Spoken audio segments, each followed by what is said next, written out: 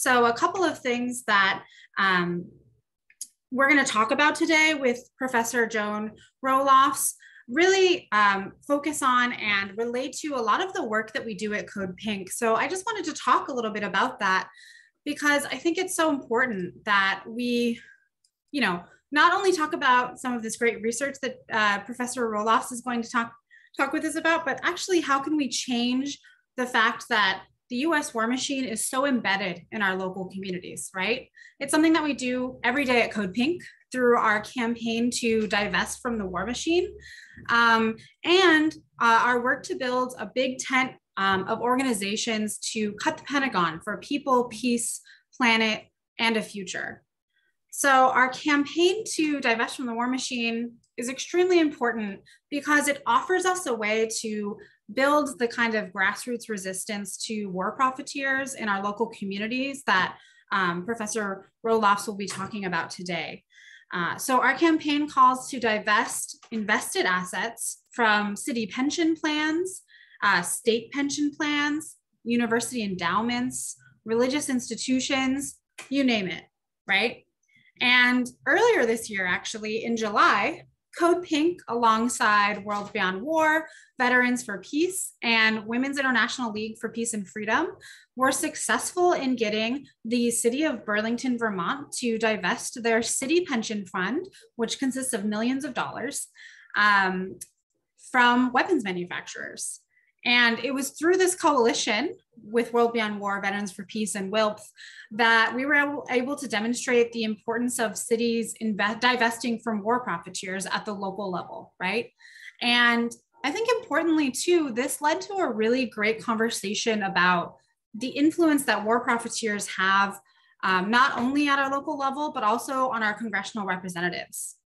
Uh, you know, as we speak, companies like Lockheed Martin, uh, which is one of the largest war profiteers in the world, uh, are lobbying against the corporate tax scheme that would help pay for the Build Back Better agenda to invest in healthcare, education, and green jobs, right? So both in our in our local cities and at the national level, war profiteers have this outsized influence on our politics, and that's why we're here to talk about that today. Um, so you know, if you're interested in getting involved in our campaigns to divest from the war machine and also cut the Pentagon for people, peace, planet, and a future, you can always email me. Uh, it's Carly, C A R L E Y, at codepink.org. I'll also post it in the chat for everyone who's watching. Um, so, with that being said, and a little background of some of the campaigns we're working on, I'm really excited to speak with author and professor Joan Roelofs uh, today about her work into the influence war profiteers have at the local level and in spaces that we haven't yet had a chance to discuss. Um, so Professor Joan uh, Roelofs has been an anti-war activist ever since she protested the Korean War. Um, for this cause, she has been associated with the Pledge of Resistance, uh, how do you pronounce that? Is it? Monadnock. Ah, thank you. Greens, uh, Greens and Green Party USA, New Hampshire Peace Action, World Beyond War, the International Campaign to Abolish Nuclear Weapons, and Code Pink. Um, she is the author of Foundations and Public Policy, The Mask of Pluralism, which was published by SUNY Press, 2003, and Greening Cities, Building Just and Sustainable Communities, uh, which was published by Rowman and Littlefield, 1996. And uh, Professor Roelofs has translated uh, Victor Considerant's Principles of Socialism in 2006 and was the co-translator with Sean Wilbur of Charles Fourier's anti-war fantasy, The World War of Small Pastries. Sounds amazing. Um, professor Roelofs is, is professor emerita of political science at Keene State College. Uh, since her semi-retirement, she has been teaching in the Cheshire Academy for Lifelong Learning including a course on the military industrial complex and writing for a variety of scholarly and political uh, publications. So very, very excited to have you here with us here today, Professor Roelofs. Um, thank you so much for joining us. Well, thank you. And I admire the work of Code Pink. I think it's probably the best anti-war organization in the United States. amazing. My perspective, yeah. Thank you so much. Uh, yeah. We really appreciate that. And, you know, it's because of people like you that um, I'm so excited to be able to take on the war machine in our local communities, um, the research that you're doing, the activism that you have been doing. Um, and just before I, I, invite you to speak, um, just a few reminders for everyone on the call. Um, so we, you know, Professor Roelofs will have a chance to talk more about uh, your important research uh, into the military industrial complex. Um, while she's speaking, if people have any questions, any thoughts to ask Professor Roelofs, please go ahead and type them in the chat box or in the Q&A uh, function. Uh, and then after Professor Roelofs has a chance to present her excellent research, um, we'll have 10 to 15 minutes for Q&A, and we really want to make sure to get to everyone's questions. So if you have any, let us know. Um, in addition, this webinar is being recorded and live streamed. So I'll be checking on YouTube. We'll have people watching there, commenting there. And, you know, if you want to uh, send this to people after it's over, we will send you a link so you don't have to worry about uh, writing down everything. Um, so without further ado, uh, Professor Roelofs, welcome. I will let you get started with your great presentation. Thank you. Um, I'm not going to be talking about the horrors of war because you all know about that. And also, of course, the devastation that's caused not only all over the world, but to our own people and our own environment. I am, however, very concerned about militarization, and that's happening all over the world. The blurring of the boundaries between the civilian and military activities which I have found so much in my research. And what, what motivates me in doing all of this is because despite the horrors, there is so much silence in this country. There is an anti war movement, it's very small though. And some of the silence can be explained, but the silence of supposedly progressive citizens is very disheartening. I'm talking about liberals, environmentalists, civil rights activists, academics, and religious leaders. They protest about many problems, but war and militarization rarely comes up. And also during election time, hardly anyone of the public, the press, or the candidates talk about war. There's been very little discussion of that. Now, I believe that the silence is caused by fear, by propaganda, by distractions, and also by interests. And what I'm going to talk about is about the interests that have created the silence. And I'm also, of course, very interested in this blurring of the boundaries now I will show you the outline of my talk so you know where I'm going.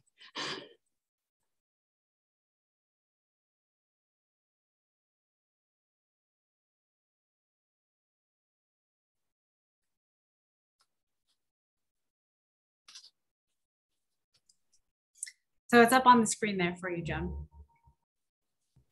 Okay. Um, well, the obvious interest. You can take it away now. The obvious interest is, of course, the military establishment. The obvious reason for silence, we can expect that. There are some people who actually enjoy violence. There are officers who want action. There are scientists who want to try out their inventions. But that it may be a very small part of the military establishment. The, the um, troops may consist of many people who joined because that was their best opportunity for a career. And the advertising for recruitment always emphasizes that um, you join because of skills, you get skills, leadership, benefits.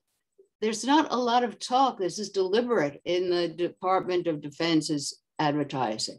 Not a lot of talk about you're going to go out and kill people and get killed. No, it's always leadership and benefits, and you learn skills and all of that. The in part of the military establishment is the Army Corps of Engineers, and they want to be constructive. They've been involved in civilian infrastructure and flood control for, for centuries. The National Guard has performed vital services in disaster relief and recently in the vaccination process. None of those people, however, are free to criticize the military and its objectives. And according to the statements from the Department of Defense itself, the goals of the US military are greater lethality and world domination. Again, for causing the silence, there are many, many veterans and their families. And they are mostly either supportive or silent. And there are many non governmental organizations that aid veterans, and all the people involved in those are not going to criticize the objectives of the military. There is even an organization called Comedy Boot Camp, which teaches veterans to be stand up comedians. Now, there are, of course, some notable veterans groups that are anti war, such as Veterans for Peace and About Face, but it's a very small proportion of veterans involved in that. Another large group that is condemned to silence are the civilian employees of the Department of Defense, which is, of course, the largest department in terms of personnel in, in the federal government. And these people are not just office workers, but they're scientists, they're architects, they're engineers, meteorologists, political scientists, information technologists. Some of them work at the Pentagon, which is, as you know, quite huge, but many of them work at military colleges, there's a whole network of military colleges and institutes in this country, or um, think tanks, education and training institutes, not only in the United States, but throughout the whole world. NATO itself has a, an entire infrastructure integrated with civilians in all the countries that they operate they have think tanks called the Centers of Excellence. And they are deliberately interested in integrating civilian politicians with military personnel in all of these places. Again, uh, something that there should be more research and publicity about. Then many other departments of the federal government work very closely with the Department of Defense. Most notable is the Department of Energy, which occupies large areas of the country to prepare the ingredients for nuclear weapons. Even the Department of Agriculture is involved in Department of Defense programs. For example, the creation of a dairy cow industry in Afghanistan joint participation of Department of Agriculture and Department of Defense. So the jobs for civilians and the Rust Belt polishing makes for huge support for the military budget. These are, are real jobs. It isn't, it isn't just profit seekers. It is people who are job seekers, people who need to earn a living are silence, that's where they get the jobs. And whatever they think about the objectives of the military, they are not free to protest. Another source of economic support in this country, the support for our economic system, our basis.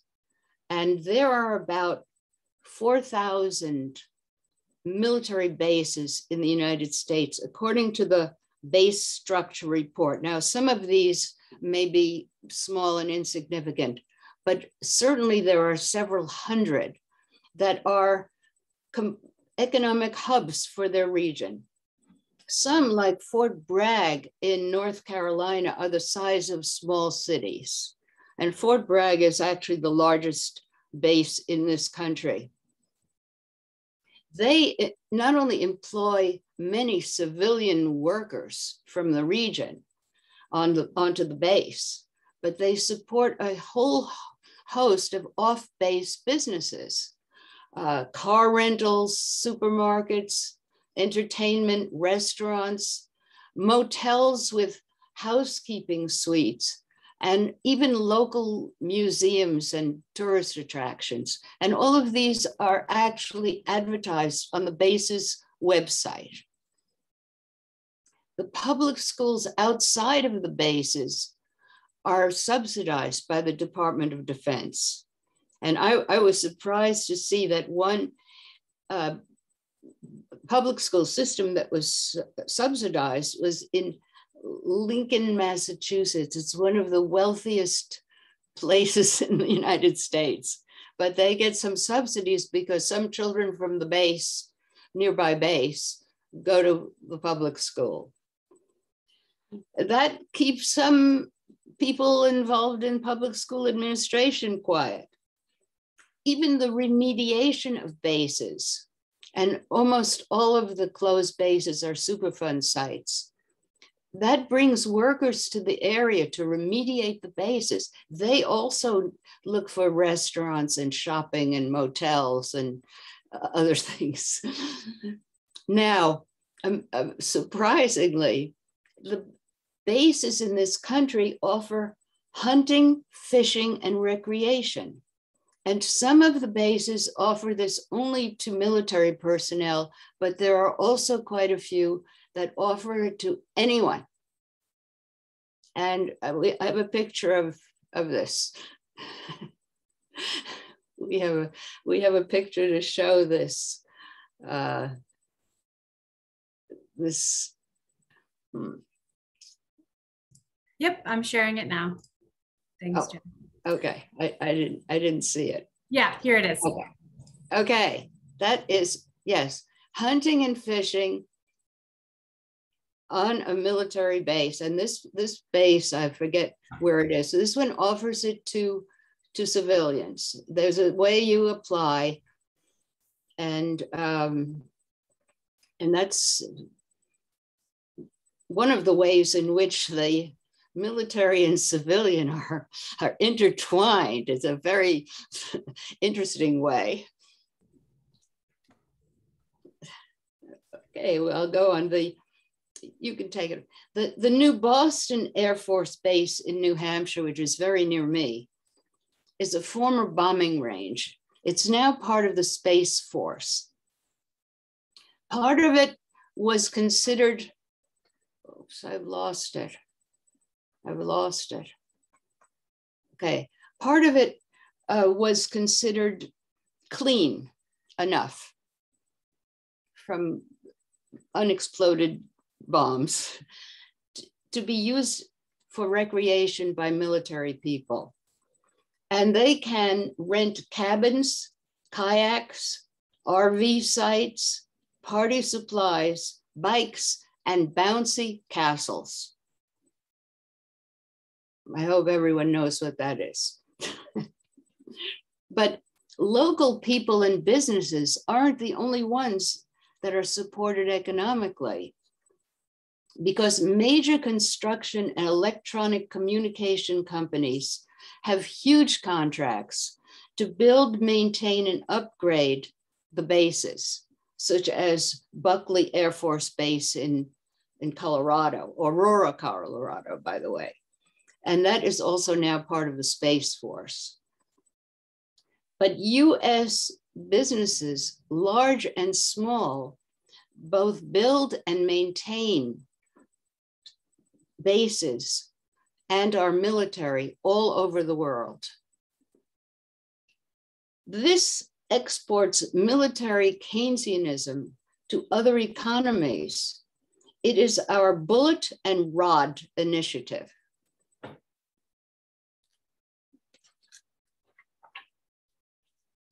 Ah, so now we look at the testing and training lands map.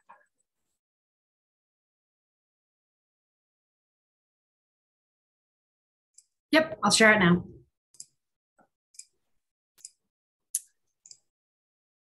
There it is.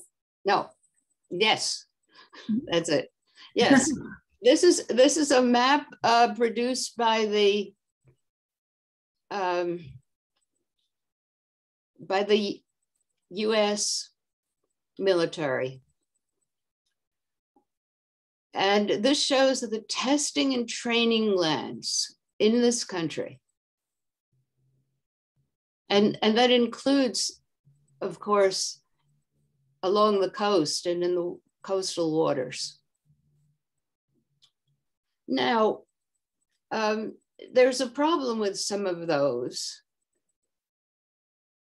because the US military, you can leave it there, sees two main threats to their bombing and testing ranges. One threat is incompatible civilian activities and the other threat is restrictions that protect endangered species. These are, actually, they actually use the word threats. And to deal with these threats, the military has a program to create buffer zones with using partnerships with private conservation groups, universities, and local governments. So all of these people involved. But the largest of the conservation groups that is involved is the Nature Conservancy. They have the most funding from the Department of Defense. Its grants for Fort Benning, Georgia alone included one for $11 million and another one for $56 million. This is for Fort Benning. And there were many, many more. Uh, you have to add up all of the individual contracts to find out the total amount they get, but it probably is in the billions, and that's the Nature Conservancy. And many other environmental organizations are in this program, such as the Maine Audubon Society and Ducks Unlimited. And in Camp Lejeune in North Carolina, which is a Marine Corps base, and it's the size of a city. It has 11 miles of amphibious operations beachfront. Among the student conservation associations, many, many grants, is one for $11 million for assistance at Camp Lejeune with a special concern for the protection of endangered sea turtles. So that is just part of the experience of nonprofit organizations. Uh, you can take this one away. Okay, quite, again, quite obvious for silence. The weapons makers, their parts suppliers, and nuclear fuel provisioners. These are of enormous important, importance for jobs. And there are also good opportunities for women and minorities at these places. Marillyn Hewson, a woman, was the CEO of Lockheed for seven years. And I have looked at the web pages of these big weapons makers and their, their staff, their CEOs, and as well as their boards of directors. And they're very diverse. They're very diverse. Uh, people very high up in, in managerial positions, many uh, women of color. Yeah. In Nashua, New Hampshire, a business journal reported in 2017 that the F 35 program supports 55 suppliers, 35 of which are small businesses, and over 900 direct jobs, much of them located at BAE Systems in Nashua. Money magazine has deemed Nashua the best place to live in the country and several years when it has done this. Well, of course, there are well paying jobs and there's also very fine tax receipts. This uh, not only supports local businesses like restaurants, but also the arts and social services provided by the city itself. But New Hampshire also has an, an aerospace and defense export consortium that promotes foreign sales of weapons. Its members include not only manufacturers, but universities, banks, and politicians. And in, actually, I looked up and it included the bank I have that I use. I've found out. And it's very, it's very hard for anyone to get away from this. yeah. And of course, this is this is one reason why we don't hear about the Rust Belt so much anymore, because this military has polished up the Rust Belt in many, many parts of the country. In New Hampshire, the Rust Belt occurred a long time ago when the chairs and the shoes moved moved south and then out of the country. But uh, this is certainly New Hampshire will say, well, high tech is now our thing. But as far as the manufacturing industry goes here and in most places, it's very much military supported. There are other industries. Industry, um, probably larger industry in New Hampshire is healthcare, also government supported, and education is very big. But when it comes to manufacturing, there isn't a lot that is not involved with the military.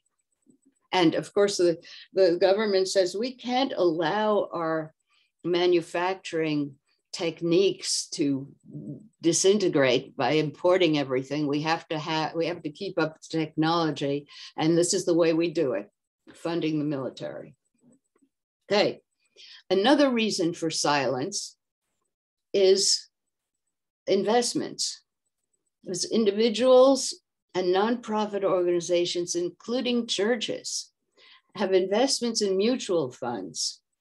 And the portfolios have huge returns because of the weapons, not only the weapons makers, but also the uh, information technology firms that are part of it, like Microsoft, Accenture.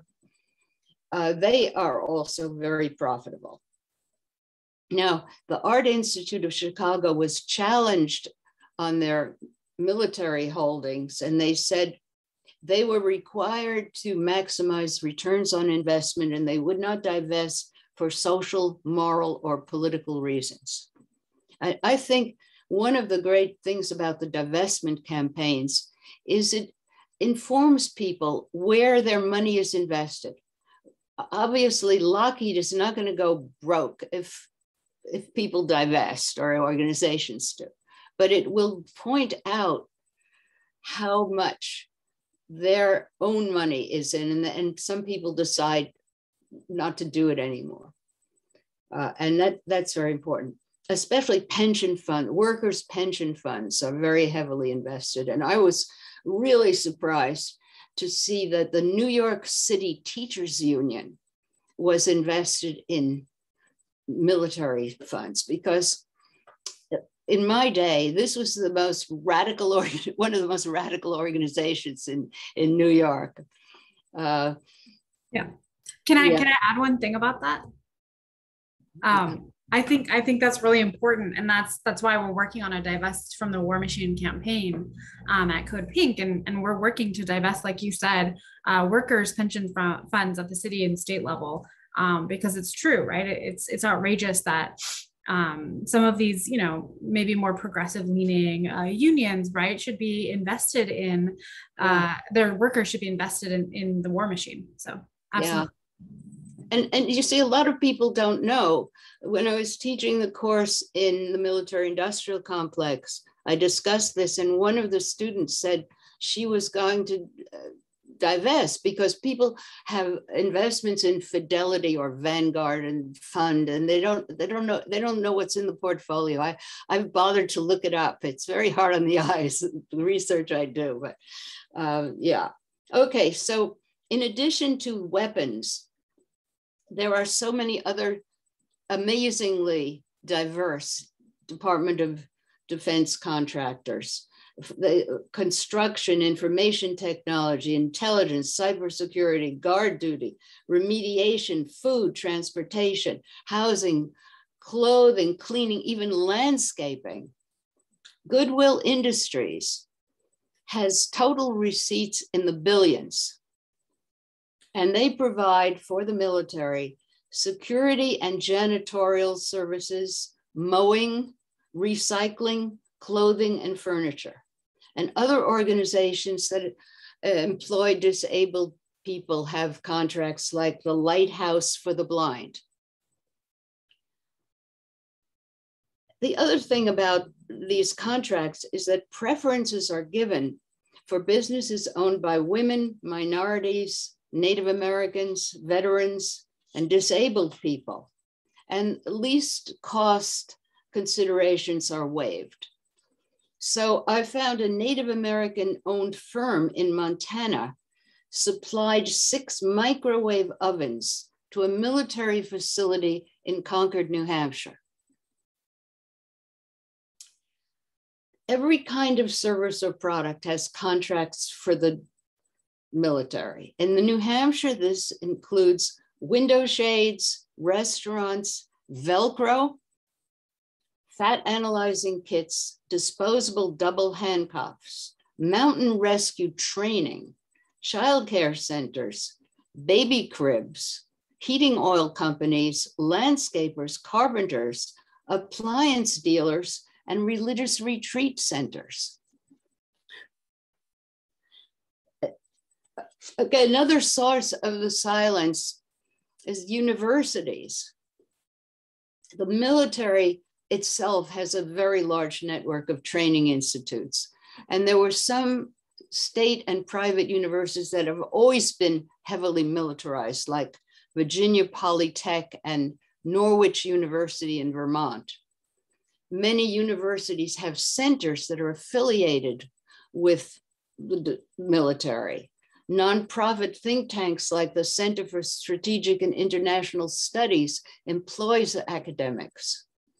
The universities and colleges have lucrative contracts, and there are also contracts and grants to worldwide universities, institutes, and laboratories. This is a very interesting thing that I found.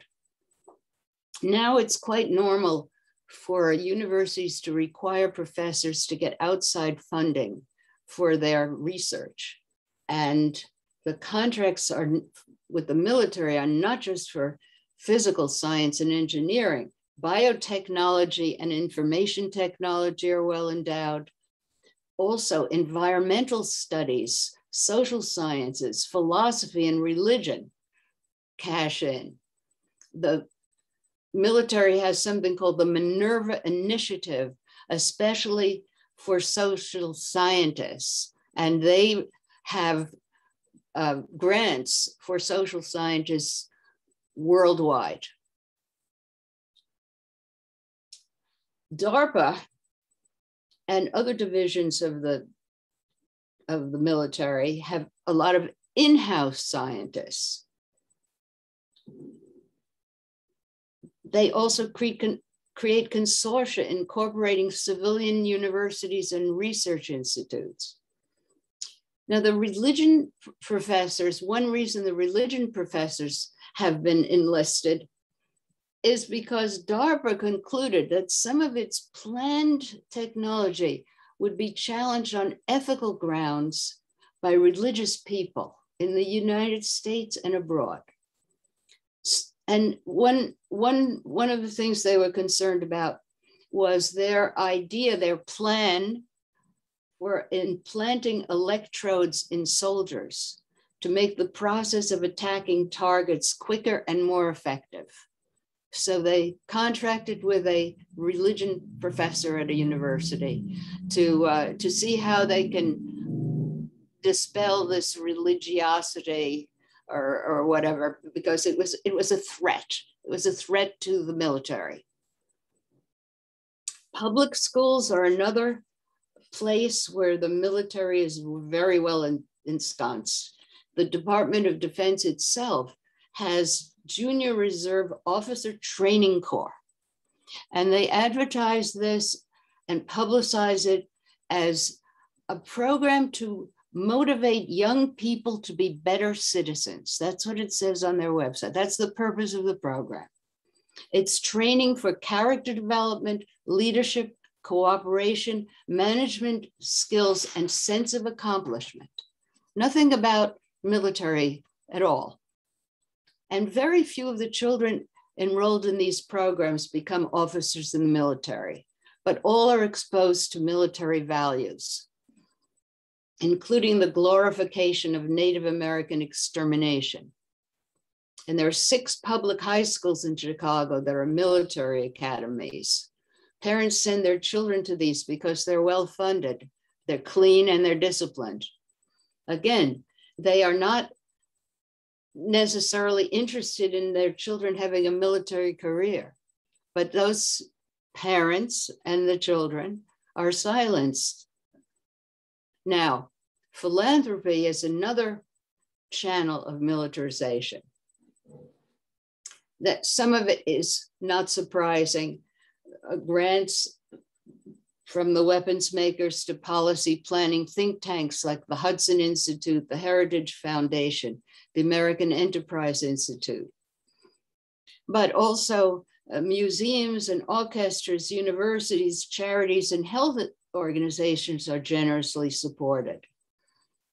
Uh, environmental organizations are supported by weapons maker.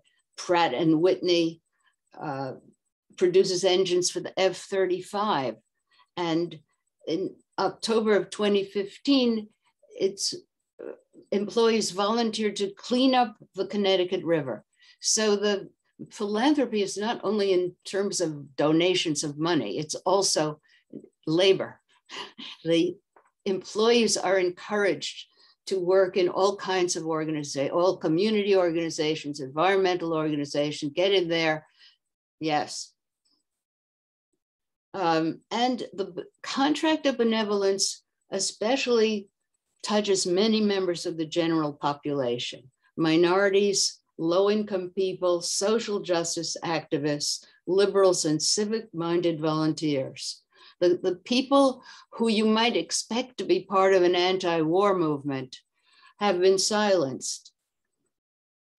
Uh, and uh, women donations are especially generous to organizations supporting women and minorities. Lockheed, Boeing, and Raytheon are important funders of the Congressional Black Caucus. The Association of University Women has a program to entice girls into STEM careers, and that is uh, funded by Boeing, Lockheed, and BAE Systems many other uh, minority higher education is funded, Boy Scouts, Girl Scouts, uh, Make a Wish, juvenile diabetes, Big Brothers, Big Sisters. And our public schools are very grateful for the enrichment provided by contractors. Employees of Lockheed, Boeing, Raytheon, et cetera, serve as tutors and mentors to students they actually go into the schools. And especially enthusiastic are programs such as one called FIRST, which is funded and led by the contractors. It introduces children to the fun of rocketry and robotics. And there are similar programs all over the country. And maybe you could show a picture of that. Yep, it's on the screen. There, there, there, see how much fun it is? And often the employees of these firms come in and they're wearing t-shirts with the logos on them. And the children remember that. They, they're very keen on logos and things. So uh,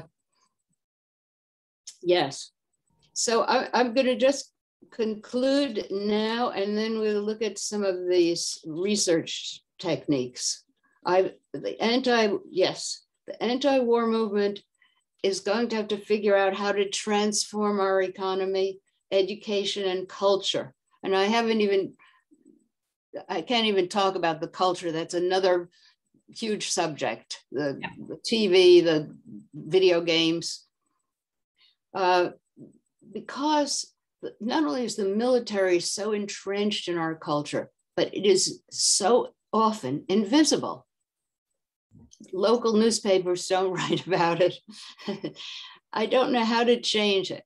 All I can do is I try to make militarism more visible. That's really my aim. And I, I'm trying to enlist more people to do it. so, so maybe we could look at um, uh, the uh, research, how, how some ways to get started researching the state complexes. And if people could do it for their state, it would be great to have a compendium online of as many states as possible. So uh, there's a publication by the military called Defense Spending by State, which is one thing you can start to look at. I'm going to show you the map now, the interactive map, Jim? Uh, first the defense spending and then the map. Okay. okay. Yeah. yeah. Sounds great. I'll show the okay. defense spending now.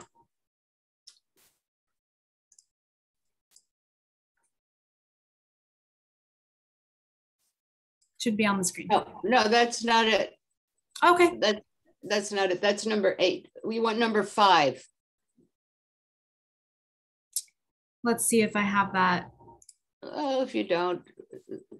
Let me share my other um, screen that I had up. No, hmm. that's hmm. number eight. It wasn't the map. Hmm. Okay. Um, this is an interactive map that I made. Yeah.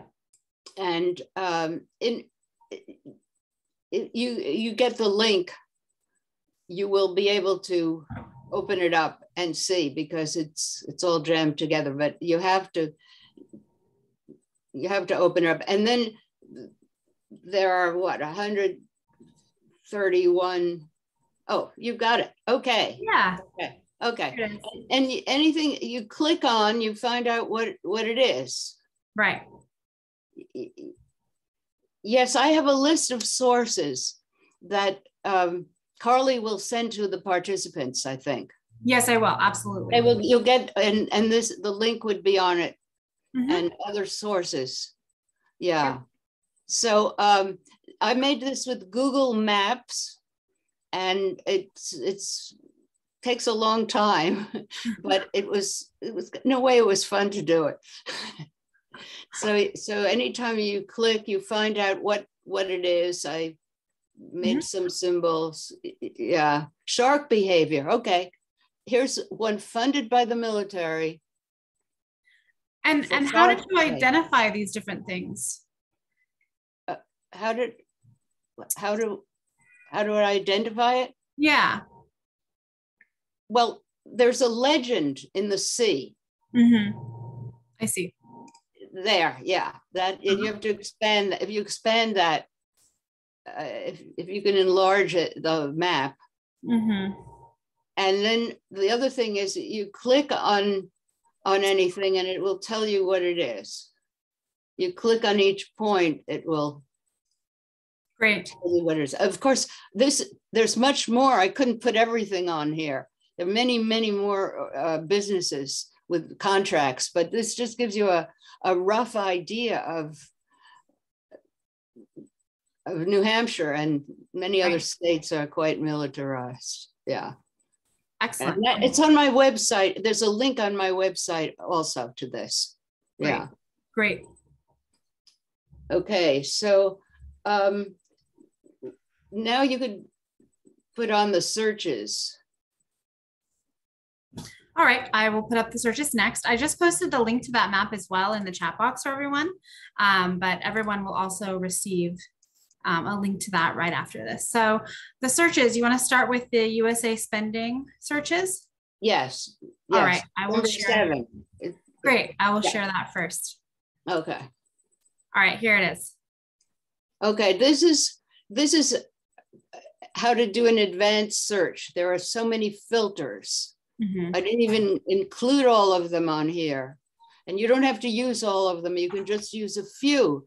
You can do a filter to find out uh, f- uh, foreign countries too. You can f- filter universities in foreign countries.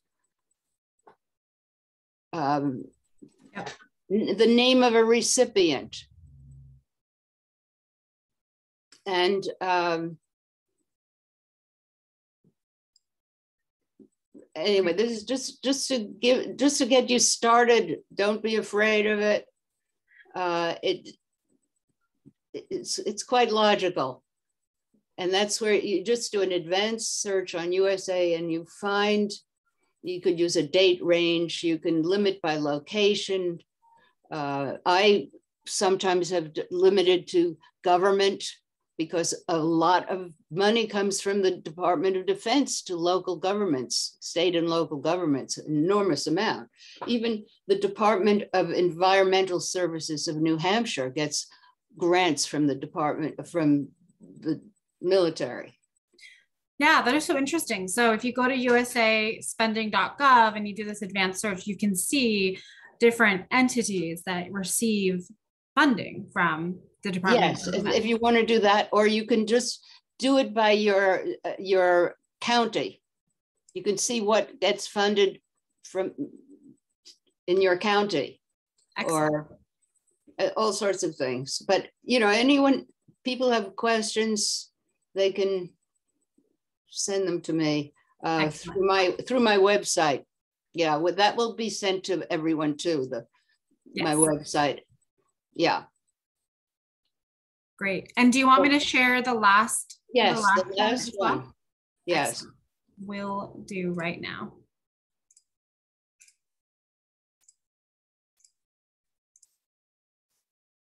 Okay, this is this is just a sample search results. One of the searches I did, I I used the time period um, just uh, four years. Yeah. And and I got eleven thousand results, and the state was New Hampshire. Mhm. Awarding agency Department of Defense. And the recipient type was all, all businesses. And, and this is, this is what I get. This is just the first page. Of course, it goes on and on and on. And you can see BAE Systems um, really gets next gen that firm changed names and moved out of this country, but BAE is the largest contractor in New Hampshire. And it gets almost about half of all the DoD money. And it was also considered to be the largest firm in Europe, the largest weapons maker in Europe. And it's a British owned system. It's a British owned corporation. Mhm. And uh, one of the things that uh, I found on, um, on, on some website was the percentage of military production of the different various corporations so that BAE has uh, 95% of everything it makes is, is military. Mm. Um, whereas uh, Boeing, with Boeing, it's 44% because Boeing also makes civilian things. but BAE hardly makes any civilian. It's an enormous, it's an enormous uh, contractor. This is this is so interesting because you can see, like you said, obviously you just search for um, the awarding agency, and like you said, you got eleven thousand results, but then it's listed by size of contract. So right away you can see BAE BAE is getting the, the yes, largest contracts. That's right. Mm-hmm. That's right. The disadvantage is in order to find out how much they got in those four years, mm-hmm. I'd have to go through all the things and add all the numbers up. And that's a lot of work. but uh, if a lot of people are doing this work, they can they can do that. Yeah. Yeah. Yeah. And other other foreign owned companies are are very prominent in New Hampshire. Elbit. Elbit is Israeli owned. Yes. And they are one of the largest uh, contracts. That was one uh, one picture you you couldn't you didn't show of mm-hmm. the, from the Department of Defense of state uh, military defense spending by state. The Elbit Systems is is one of the top ten mm. in and Raytheon and uh, but also some of the information technology companies are also in part of the top 10 yeah. Yeah. Great. That's that's really useful to know how to actually do that kind of research because people we work with want to know in their local communities right?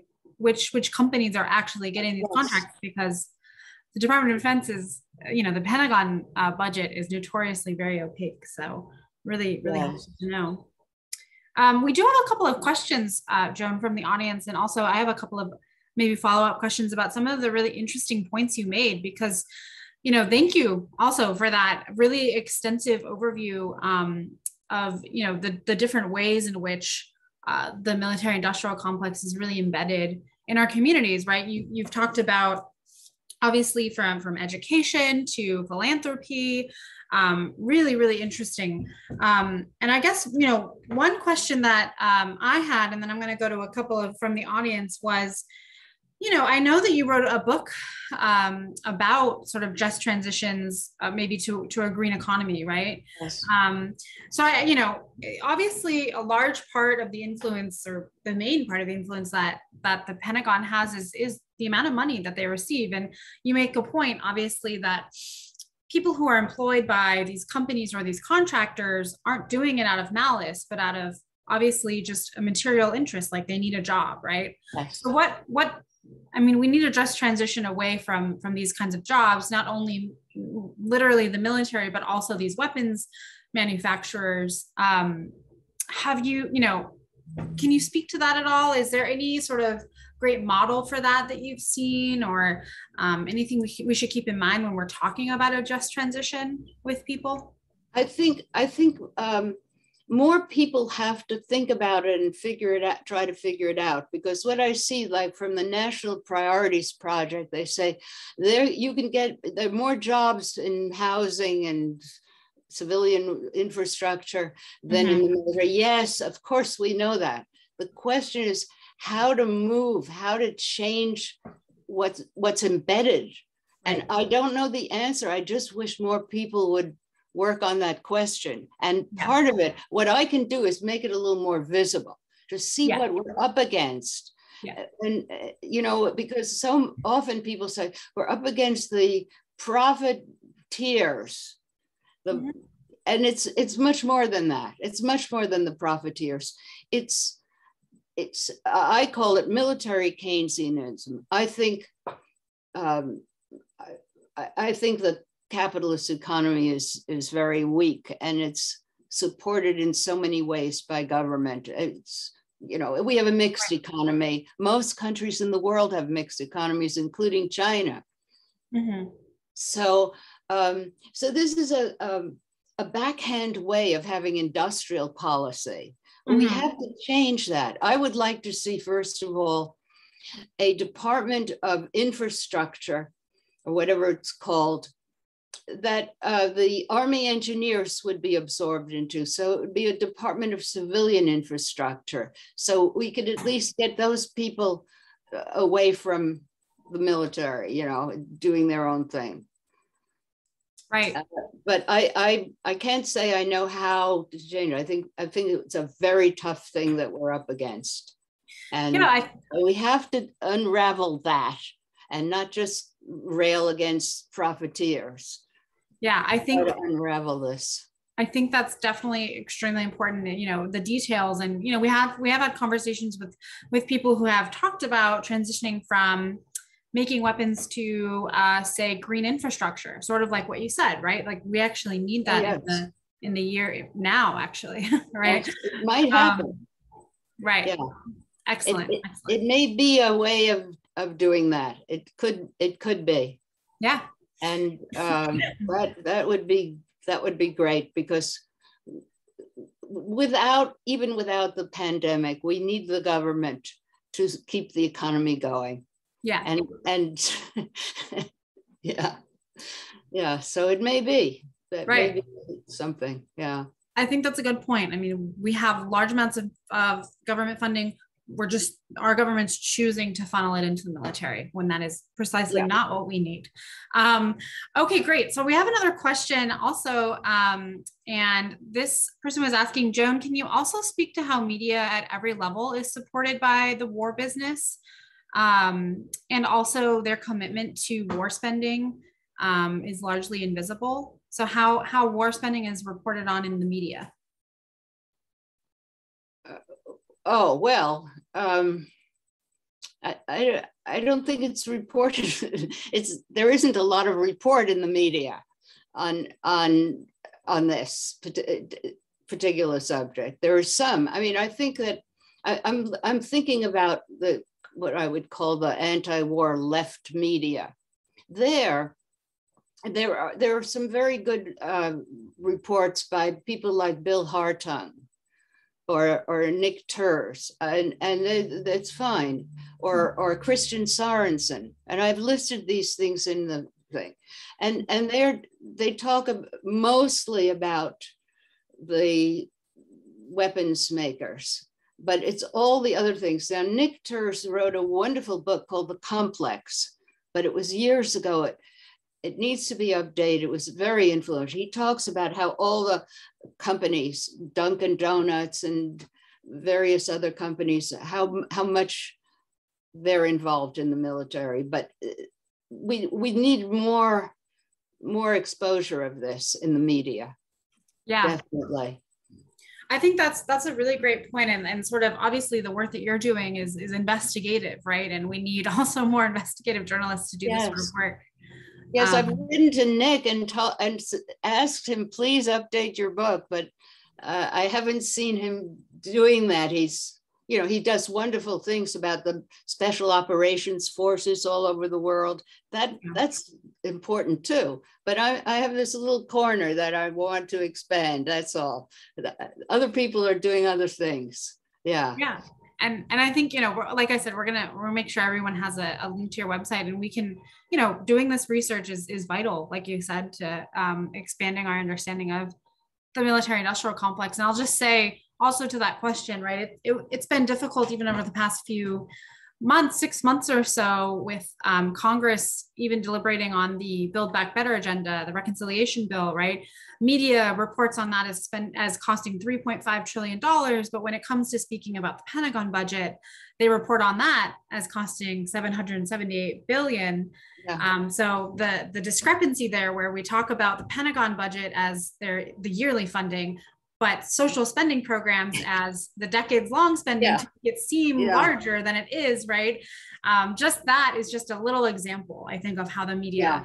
really distorts this conversation in a lot of ways yeah. Um, well, one thing that of course should get more publicity is the idea of the upgrading of nuclear weapons because our country still has nuclear war as an option. And that should be shocking to people, you know? Yes. It's still an option for our military. Yes. And the fact that we're spending, we're, we're we want to commit to spending billions of dollars to, like you said, of course, um, it's, it's rearm. and and the and the danger to the whole right of the world. Yeah. It's it's hard to comprehend why, you know, that would be even on the table. Um, yeah.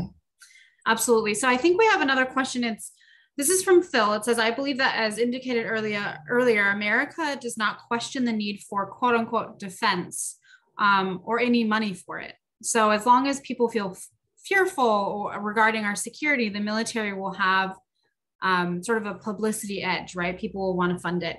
So Phil's question is, don't we need to change our thinking about our security um, and that we need to work for peace, not war as a basis for challenging military spending? Uh, certainly. And, and there are, there are certainly people doing this and, and we have to hear about it more because is the question, are we safe? is this military making us safe? And obviously, there's so many hundreds of ways that it isn't. Even our 800 bases all over the world become targets and uh, likely to um, something could be inflamed in one of those places. You know, if we're if our base is attacked in some place in the world, or or our, troops, our special operations forces now very happy in uh, not only in Africa, but also in the Arctic. I mean, uh, is it making us say having nuclear weapons or pr proposing nuclear war? Is that really making us safe? And what are we defending against, really? Uh, no one's, you know, people aren't interested in attacking us. Right. Uh, okay, we have these web uh, aircraft carriers that don't even work. Right. right. Or the F 35s that um, have blown yes. up. F 35s. Yeah. Right. Yeah. Oh, yes. Yeah. Oh, absolutely. Yes, yes, this is a comment about hybrid war. Absolutely. Mm-hmm. Now, uh, yes, uh, dirty tricks, assassinations, um, covert action of all kinds, uh, cyber cyber warfare. Now it's uh, an attempt to change our cognitive ways. That's the latest thing. Not yeah. just to change the information, but they're trying to figure out how to change the way uh, people think all over the world. I mean, right. yes, definitely uh, what's called uh, asymmetrical warfare or yeah yeah but, but they but they're still making those aircraft carriers. In addition to this yes they're doing they're doing both sides. They're not giving up the other stuff. Right. I i think it's it's this this um it seems like almost a contradiction right? They want to make uh, our wars as as invisible i think to the majority of american public yes. as possible like the costs of war um, civilian deaths obviously but also invest you know close to a trillion dollars in war every year. And those those things that we're investing in like you said right they're not making us safer they're making companies profit right? Yeah. um, and so i think you know holding those two things at the same time is really important. Yeah. Um so and, and obviously like you said right making these connections visible is also extremely important yeah. because the department of defense certainly doesn't want that to happen um, wonderful. I, am not seeing any other questions. Um, I think what you gave us was extremely comprehensive. Um, and also, I know that people will be interested in looking at that map that you showed us and doing some of their own research. I personally yes. am going to go look up where I live in California, yeah. Um, just the University of California alone, right? Um, and people are asking, what is the website? We will make sure you have the link to that in a follow up email. Yes. Um, so, but but Joan, before we before we uh, hop off, I wanted to see are there any last sort of thoughts or or things that you wanted to add um, about this conversation that we've had? No, I'm I'm very happy with uh, the turnout and I hope people, I really hope that people follow through and it would be really nice to have um, a website with every state having a, not only a map, but a description of some of the interesting contracts. And so we see how how tremendously militarized the country is physically. And the state of Washington, for example, and, and California too. California's has the most bases. It's one of the highly and highly militarized states. But yep. then throughout the country, there are all kinds of places that have survived, places in Michigan and Wisconsin, towns that otherwise would be rusted away. Yes. And I have I've looked up zip codes of, of some of those places that are thriving and found very often it's because of military contracts. Yes, exactly. Right. And I think a really great way to also end this is to say something that Phil Nichols um, posted in the chat, which I think is really just on point, which is transparency is a powerful thing. Look at how our government is handling Julian Assange and Daniel Hale. Um, absolutely right on point. And I also just also wanted to end by again, thank you you so much, Joan, for joining us and for that really great presentation and look into how we can actually do this research together. Um, and also just to remind people, right, we've talked quite a bit about the role that um, not only war profiteers, but the entire military industrial complex has um, in our lives and almost every facet of our lives. Um, and you know, over half of our Pentagon budget goes directly into these military contractors, like you said. Um, and really, that won't end until we cut the Pentagon for people, peace, planet, and a future, which is why it's really imperative that we create a big tent of people and organizations who are working towards this goal together. Um, so I invite everyone to join um, this movement to cut the Pentagon for people, peace, planet, and a future by going to cutthepentagon.org.